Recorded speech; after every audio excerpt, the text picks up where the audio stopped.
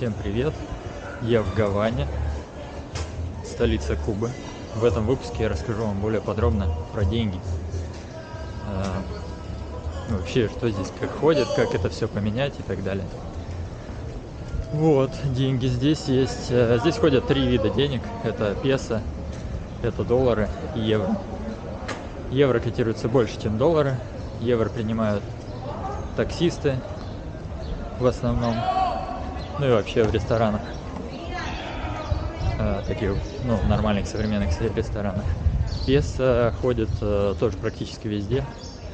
За песо можно поесть, за песо можно купить какие-нибудь сувениры. За песо можно ездить в транспорте. Такси, которое местное, тоже за песо. Вот. Э, так что берите с собой и доллары, и евро. Они здесь котируются ну, практически на рамы. Вот. А, если у вас, ну вот вы взяли с собой уже деньги, а, не торопитесь их менять, потому что курс здесь довольно-таки волатильный, как я понял, потому что когда я приехал, он был один, сейчас он уже другой, и это довольно-таки любопытно. Поэтому меняйте маленькими суммами, ну типа 100 долларов, меняйте, вот, но не больше. Просто, возможно, когда-нибудь впоследствии будет еще более выгодный курс. Вот, на данный момент э, есть три доступных варианта обмена валют. Один из них это по прилету в аэропорт, там есть э, обменники. Мне даже не интересно было это смотреть, потому что, скорее всего, там очень хреновый курс. Второй вариант это второй из официальных легальных вариантов это банк банке тоже курс э, такой себе. Э, ну, примерно за 1 доллар да, будет давать 25 песо. Если вы поменяете деньги на, по этому курсу, то, блин, вам покажется, что Гавана очень дорогая. А, да, надо реально очень, очень много денег потратить. Вот, и самый нормальный вариант это менять у местных. А, Кубе, на Кубе, в Гаване что-то как-то не особо любят песо, потому что, не знаю, видимо, видимо, потому что песо обесценивается быстрее доллара или евро. А, и, в принципе, вы можете подойти к таксисту, один из вариантов, поменять у него. Ну, если один откажет, то другой э, там наберет пару номеров и наверняка найдет того, кто может поменять вам валюту. Вот. Второй вариант это если вы за, заселяетесь в какой-нибудь касса партикуляр, ну, участников, то хозяйка вам может поменять или хозяин.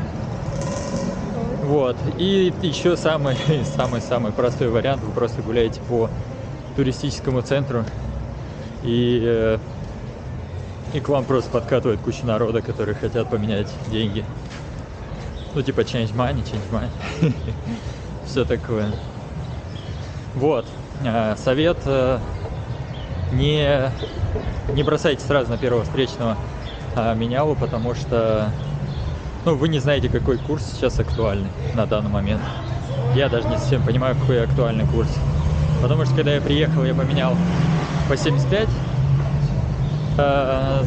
75 э, песо за 1 доллар. Сейчас уже можно поменять 85 за 1 доллар.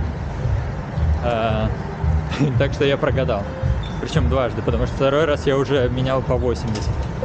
Вот. И чем больше вы общаетесь со всякими обменниками э, ходячими, тем э, больше шансов у вас э, понять, какой сейчас актуальный курс и на, какой, на какие деньги вообще можно рассчитывать. Вот, евро-доллары, блин, ну, Гаване это не принципиально практически. Если вы, конечно, будете много кататься по, не знаю, там, в такси, которое туристическое именно, вот эти все кабриолеты, то да, вам придется иметь доллар, ой, евро. Не знаю, с чем это связано, но, в общем, это котируется именно так. А, что еще? Немного про цены. А, ну, цены здесь довольно-таки разные. э, для любого путешественника, даже если вы нищеброд, типа меня, студент, не знаю, который пошпал, он дошел до Гаваны, в принципе, сможет здесь существовать, потому что, в принципе, цены, как в России, на некоторые виды э, продуктов, и, и бывает, есть даже дешевле. Ну, допустим, стритфуд здесь, ну, довольно-таки э, дешевый.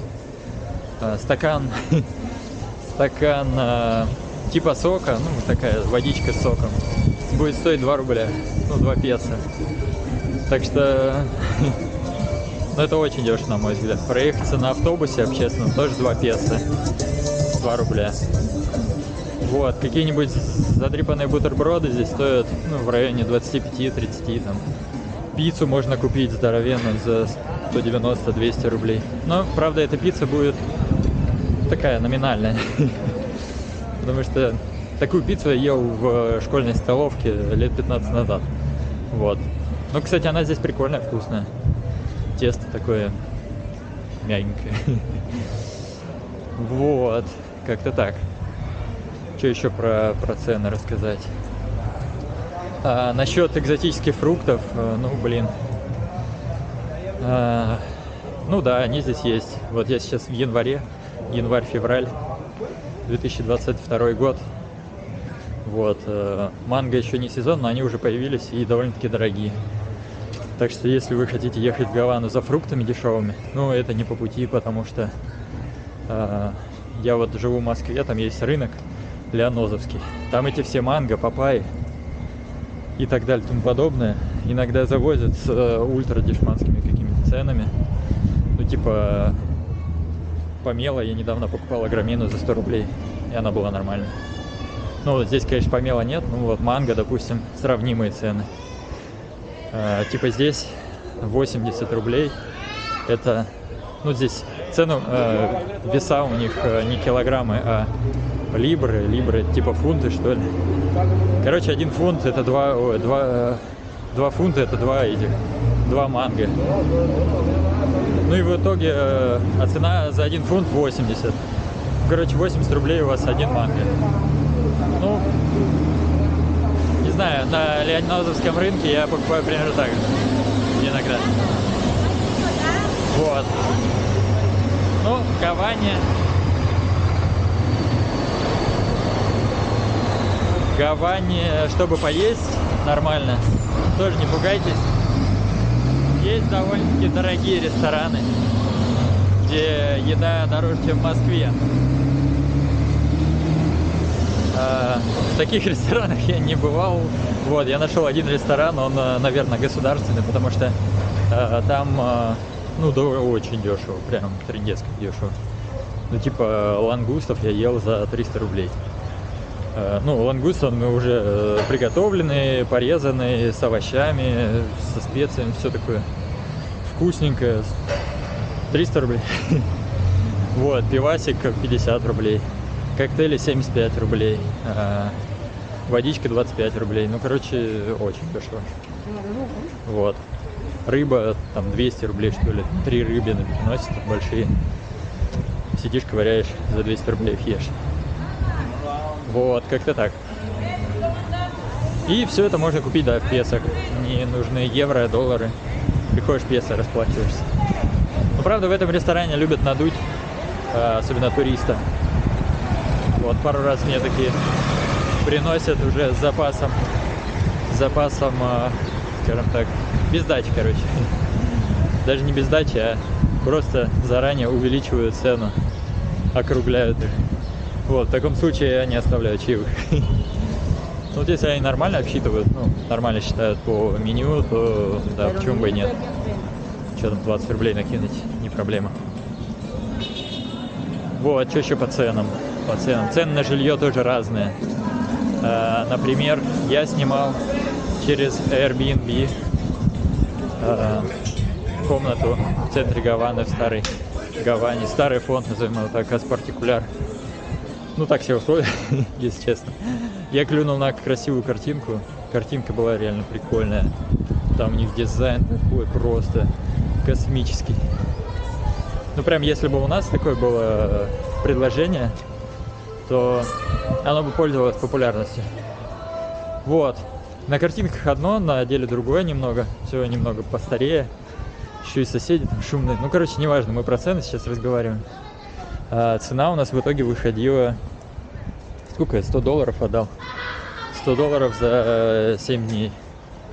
Ну, я считаю, что можно было и поторговаться на самом деле, потому что, ну, это с учетом Airbnb, да, там типа 15 баксов, что ли, в день выходило. В общем, я думаю, в следующий раз, если я захочу у нее остановиться, то это будет стоить дешевле. Я ей просто наличкой отдам деньги, да и все. Вот, ну как-нибудь договоримся там. Нормальная хозяйка. Ну как нормально? Они постоянно устраивают вечеринки. Ну ладно, неважно. Вот, и это дешевый вариант, по сути, считается. Можно найти еще дешевле, но такое редко бывает. Можно найти еще дороже. Допустим, есть еще предложение на берегу э, океана или что там, море. Ну, короче, э, на Маликоне, по сути. Вот. И у тебя будет вид прям на море. А если там еще и штормит, то это вообще, это такие космические кадры. Просто это, это кино. Реально очень красиво. Собственно говоря, когда я приехал первый день, да, ну, второй день получается, я пошел на Маликон, и там штормило. Были огроменные волны, они просто прям разбивались об эту, э, как это называть-то, дорогу Маликон. В общем, было очень красиво. Вот, что еще по ценам? А, ну вот, цена вот такой вот хаты на берегу Маликона будет примерно, ну не знаю, там где-то 2 500 в сутки рублей. Вот. Но я туда так и не попал. Потому что я нищеброд. Что еще по ценам? Не знаю, наверное, добавить больше нечего по ценам. А, хотя нет, еще забавно. Здесь есть э, довольно-таки большие торговые площади, торговые центры. Э, там можно купить вансы, допустим, или конверсы. Но насколько они э, реальные, насколько они настоящие, я даже не знаю. Вообще здесь ценится э, одежда из э, мира. Она здесь довольно-таки дорогая. Ну вот, допустим, я зашел в Ансы посмотреть. Они стоят примерно, ну, сколько они там стоят? 80-90 баксов. А, ну, по идее, это адекватная цена. Примерно у нас в России, ну, может быть, чуть дороже. Вот, но прикол в том, что а, для местных это вообще неподъемные деньги, потому что у них, блин, зарплаты здесь очень маленькие. Ну, я прям иногда ловил себя на мысль, что а я неплохо живу, оказывается. Потому что здесь зарплата в среднем в месяц. Вот я спрашивал одной девчонки, она официантка, она получает ну, где-то 150 баксов вот в месяц. И это хорошая зарплата для нее. Ну, вообще для, для Кубы в целом. А так люди здесь живут на 5000 в месяц рублей. Блин, ну жесть. Ну и вот, в итоге получается, что хрен получится, что купить нормально. Потому что денег нету. Вот как-то так. Так, мне надо теперь понять, куда идти.